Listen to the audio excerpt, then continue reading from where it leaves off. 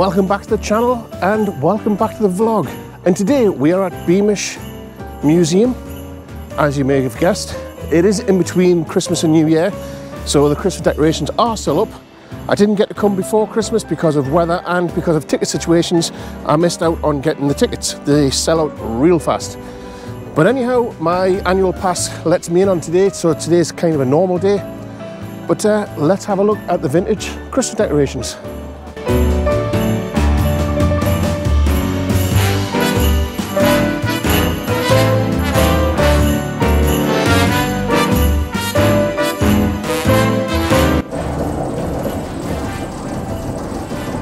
Here we are on one of the vintage buses. I decided to catch the bus today just because, like, why not? And uh, I'm just going to get off a little bit further down the road at Pockerley Hall, where apparently they have 12 night celebrations on. So uh, hopefully we'll catch something good there. And don't forget, kids, there's no smoking allowed. Also, spitting is prohibited.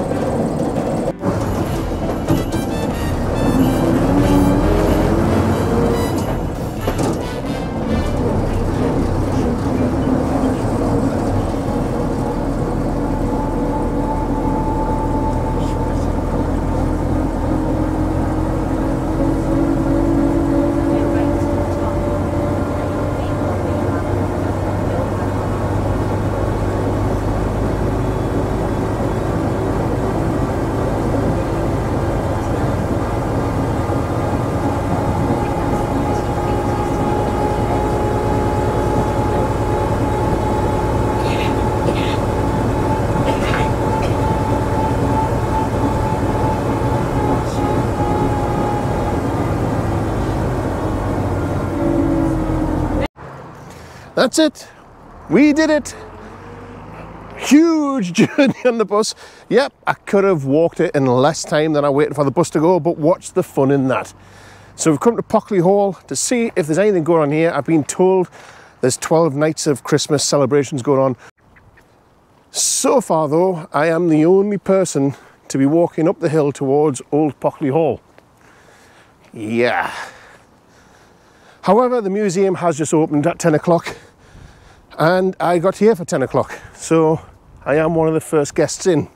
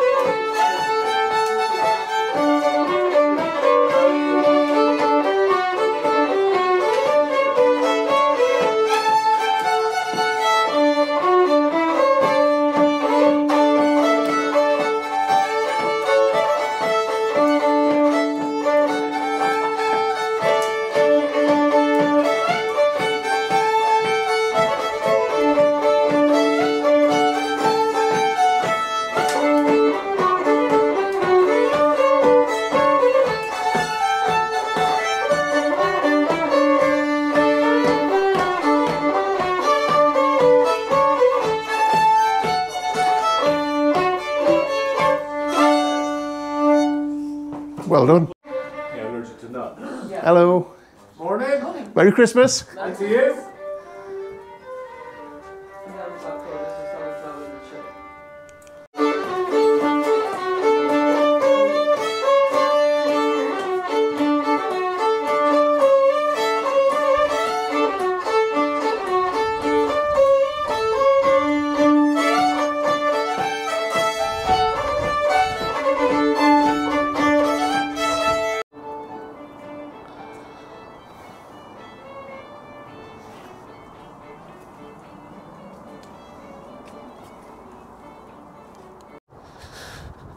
Wow.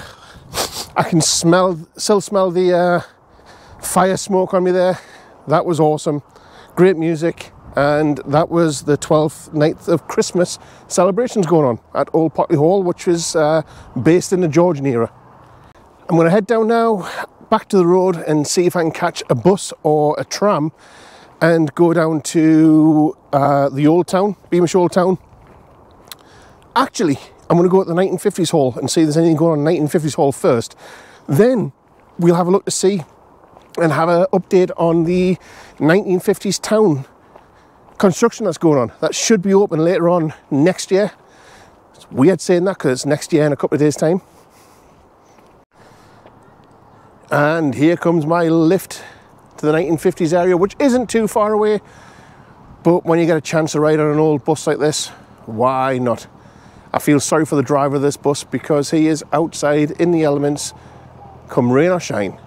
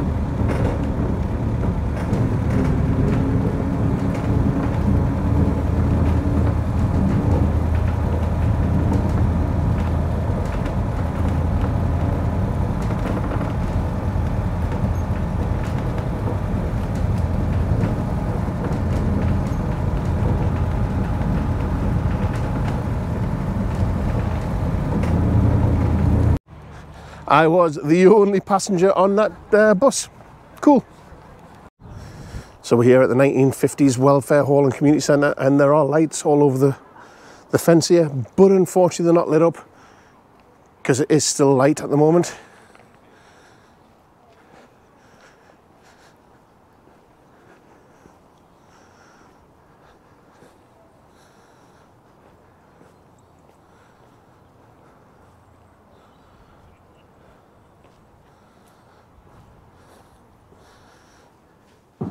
This shed wasn't here the last time we came. And we have some old football boots on the table, getting repaired and waxed. We've got a pump for the football. Places to get changed. Oh, I like them shoes. That's just the type of shoes that I would wear.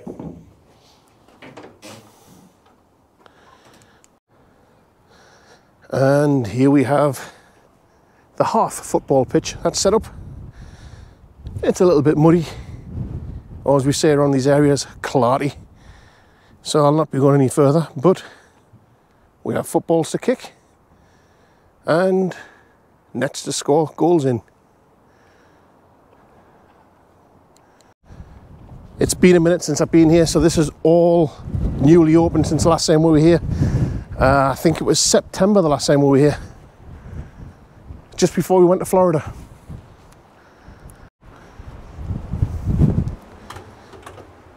Ooh, they do have pantomimes on in January at 11, 1 and 2.30.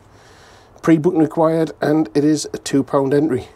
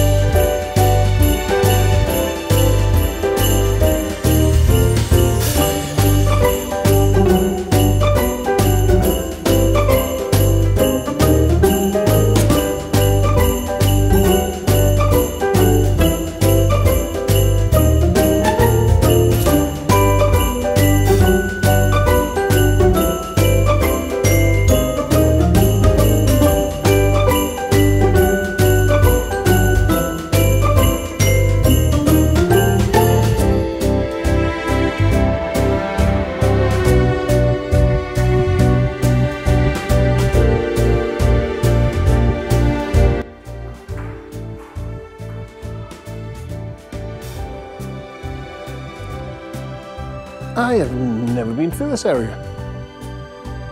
Why have I never been through here? It's like a doctor's office.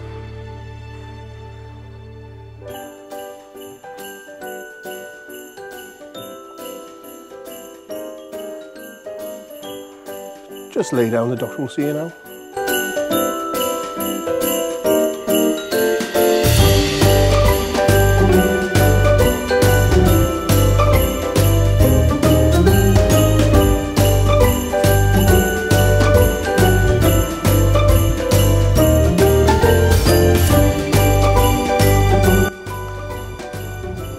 This miniature golf area had just opened up the last time we came down in September. I've not had a try of it yet. I think you do have to pay to hire the, the putters. But this is all new since last time we were here. So we have a, a 1950s style park. Funny enough, I was born in the 70s and I still remember parks like this. That's because the lasted. so let's go have a look at the construction for the 1950s town. Uh, from what I can see at the moment, there is a lot more houses built or being built since the last time we were here. Let's have a look. Just peeking through the construction fence here. This is all still getting worked on, obviously. That's the shops which we've already been to. These are the houses that we've already seen and the just seem to be getting finished off a lot more since the last time we were here. But don't know what this is going to be. Possibly bowling greens by the looks of it. If we walk down here to an area which was blocked off the last time we were here, you can see there is construction here too. So just guessing, that looks to me like it is a school. So this could be a 1950s style school. And if that's the case, this may not be bowling greens. This could be the playground for the school. I don't know. We will have to see. Okay, I stand corrected. Let me have a look. This is definitely going to be a bowling green. So I was correct about that. That's going to be all turf with lovely flat grass. This is the bowling pavilion. And the building at the back, which I thought was going to be like a 1950s style school, is actually going to be the mining cottages. Half of which are going to be open to the public, and the other half are going to be for dementia patients who are in care for dementia to come down and uh, have respite and things like that here. So that's that. Uh, this area here is going to be a cinema and she said something else. Hmm. Can't remember else, but it's going to be a 1950s cinema and that's going to be all built on this area here. Obviously the construction hasn't started on that yet, but the 1950s houses are virtually completed. Looks like some kids have been out and playing with the footballs. Let's see if I can score a goal. And I hit the post. Typical. So we've had a quick, short walk down to the 1950s area where the hairdresser, sweetie shop, some of the houses, and uh, the fish and chip shop is here.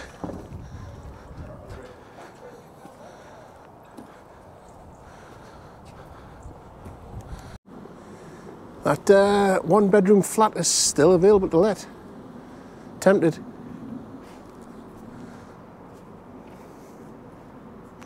Anywho, it's good to see that the 1950s fish and chip shop has been taken over by somebody else. So it is back up and running. So if you want 1950s fish and chips, very nice. The nicest ones here at Beamish. Everybody raves about the ones that's in the coal-fired fryers in the, the goose fat. I prefer these, I really do.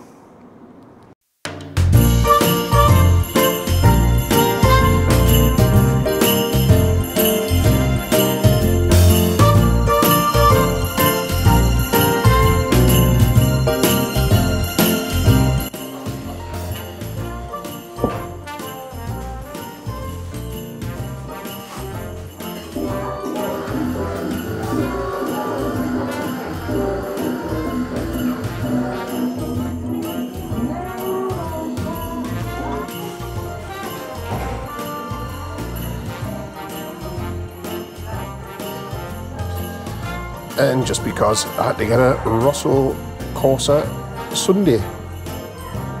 Look at that bad boy. And a Coke.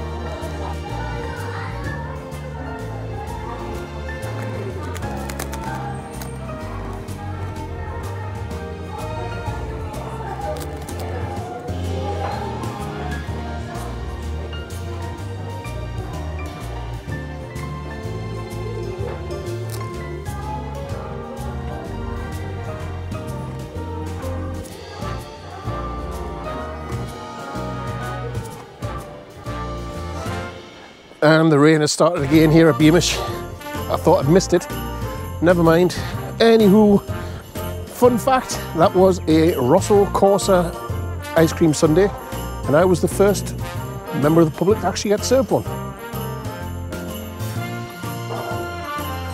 Point this out every Christmas. Have a look at the old style way of spelling merry.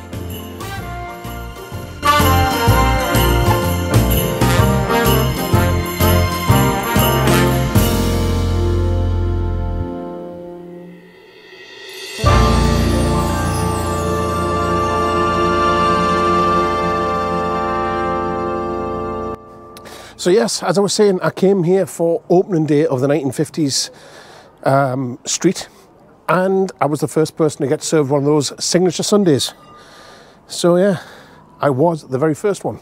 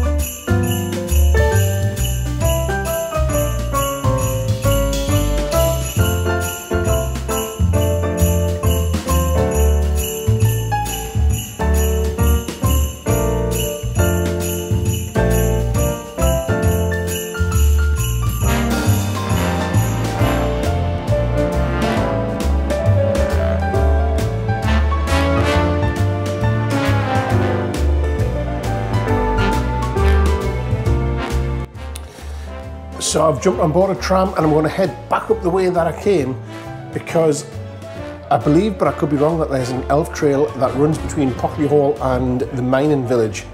Uh, there was last year, hopefully there will be this year. So we'll have a quick stop off there and have a check out and then we'll go into the mining village and see what decorations are going on there.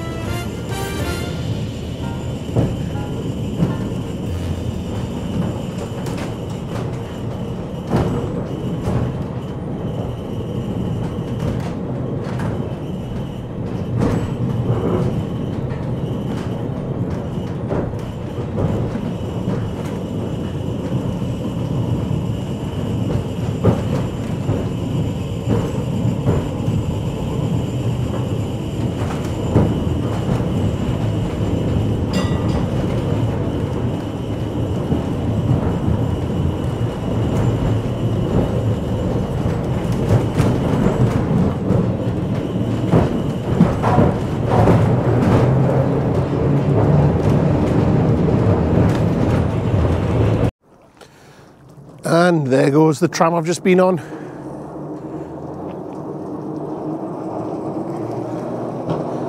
One of the more iconic things here at Beamish.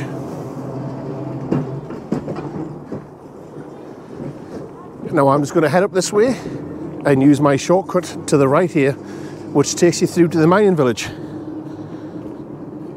And by the looks of it, the elf trail seems to be there because I can see the lights already. So on this sign it says the Pit Village and Colliery. On that sign it says the Colliery Village. You can say Pit Village, Colliery Village or Mining Village. All means the same thing. They're not showing up very well on this camera, but there is a trail of lights through here, which would look fantastic as the lights go down, but unfortunately I won't be here then. Now let's have a look out for these pesky elves, eh?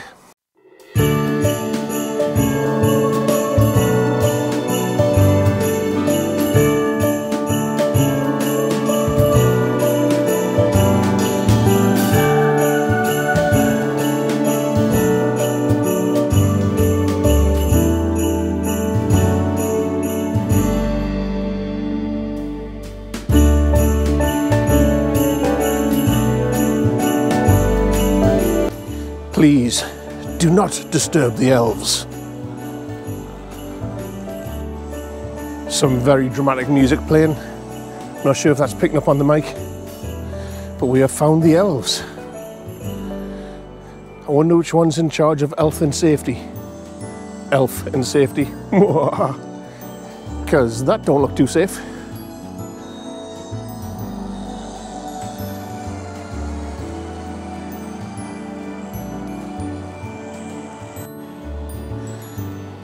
Can you spot all the elves?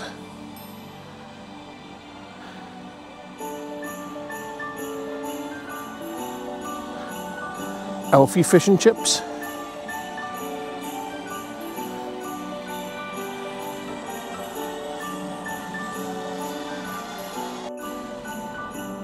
So all you folks that put your Christmas trees up before December, where Santa kills an, kills an elf, this is where they end up, the elf graveyard.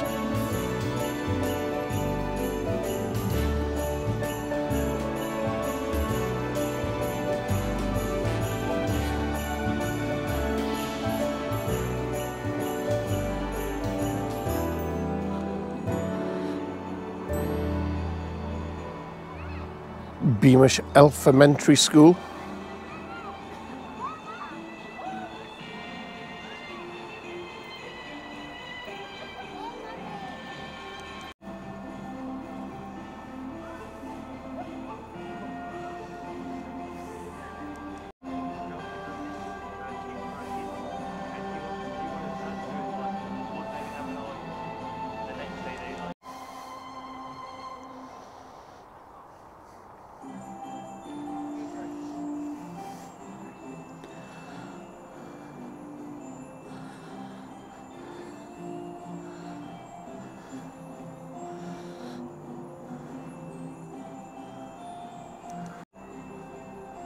You're doing it wrong, Mr. Elf. You need to be standing on the bridge, not hanging below it. Again, Elf and safety will be after you.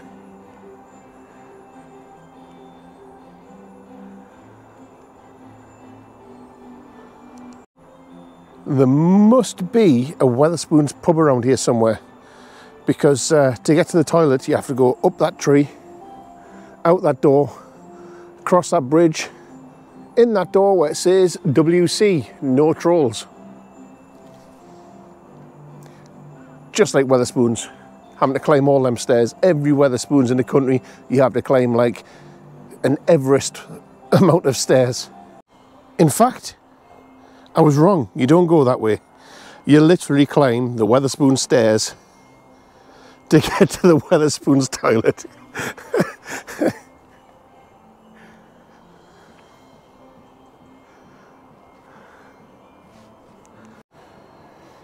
So there you have it. That is the Elf Trail. I'm going to continue on through the Colliery Village and uh, head up to the farm before grabbing a tram or a bus to go back up to the car park.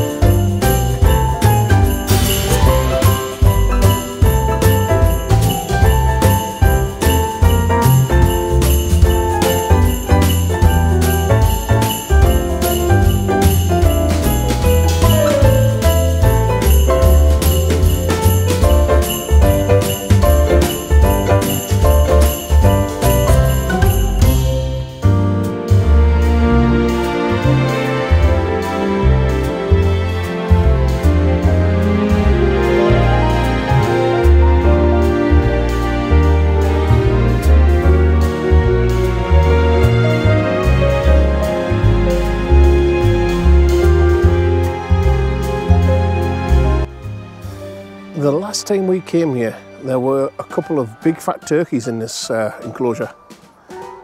And the enclosure's empty. There are chickens over there, but no turkeys. Just after Christmas. They're just on holiday, they're having a break. Yeah, they're having a break.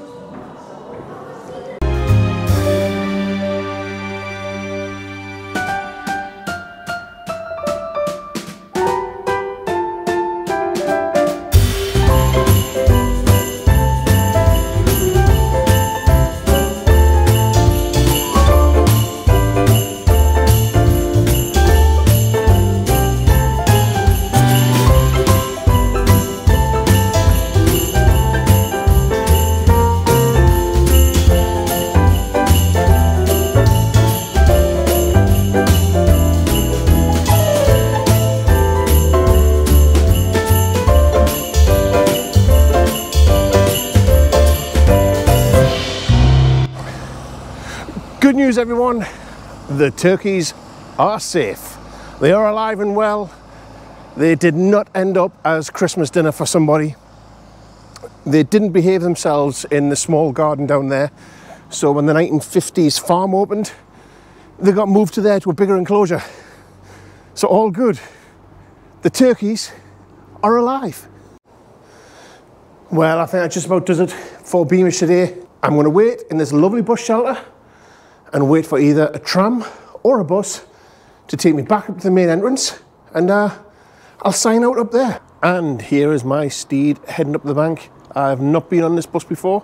I shall give it a quick hail, a quick wave of the hand, and uh, it should stop for me.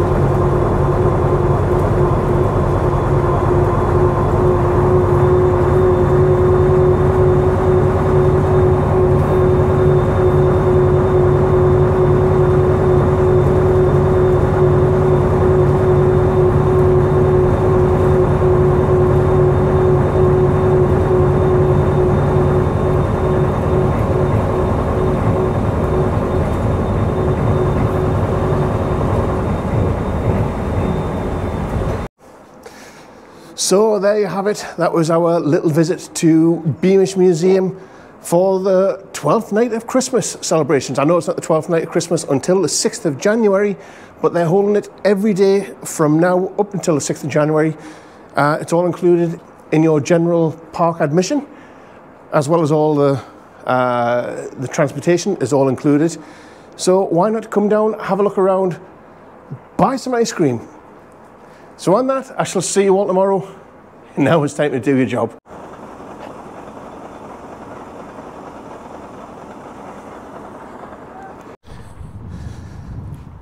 The camper bus is looking lonely, all by itself in the coach parking. That's right. It's that big, it gets put in the coach parking. And all the cars are all up there. Its very own car park.